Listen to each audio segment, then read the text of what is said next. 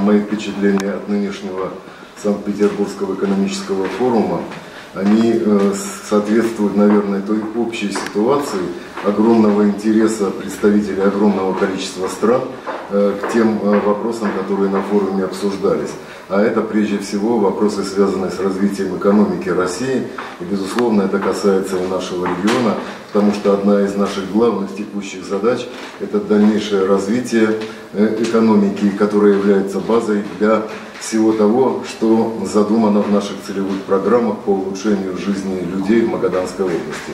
Поэтому те мероприятия, в которых я принимал участие, они, безусловно, для нас являются достаточно продуктивными.